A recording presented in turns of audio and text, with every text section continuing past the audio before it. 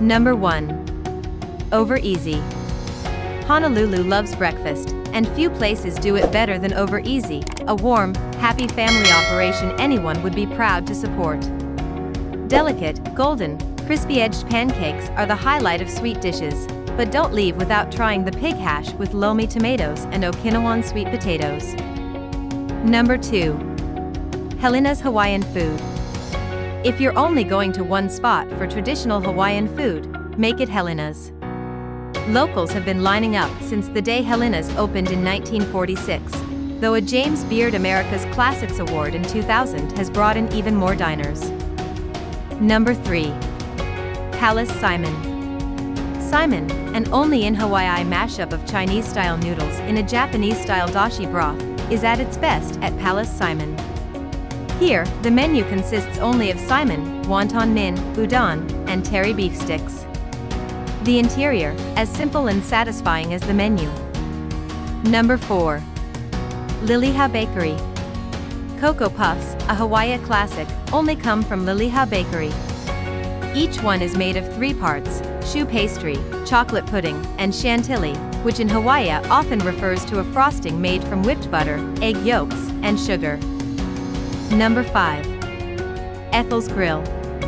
Ethel's Grill has been serving truck drivers, politicians, chefs, and tourists near the docks for decades. Ryoko Ishii bought the restaurant in 1978 and never bothered to change the name. Today, her daughter and son-in-law serve comfort food that reflects their mixed heritage of Japanese. Number 6. Nami Kaze Hawaii.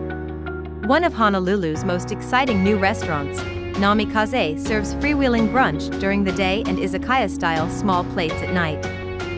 Daytime dishes include teishoku, Japanese set breakfast, honey walnut shrimp waffles. Number 7. Hyung's Seafood. Hyung's central location and casual digs make it a favorite of chefs and in-the-know locals. It's best in the evenings, for a night of good company coupled with seafood and spicy Korean fare that demands booze. Order the large sashimi platter to share. Number 8. The Pig and the Lady. The Pig and the Lady is a must-visit spot for its modern Vietnamese flavors. Its famous faux French dip is offered at lunch, while even more playful dishes are on the frequently updated dinner menu which recently included clams braised with rau ram sausage and sea scallops baked with a curry sauce in their shell. Number 9. Senia.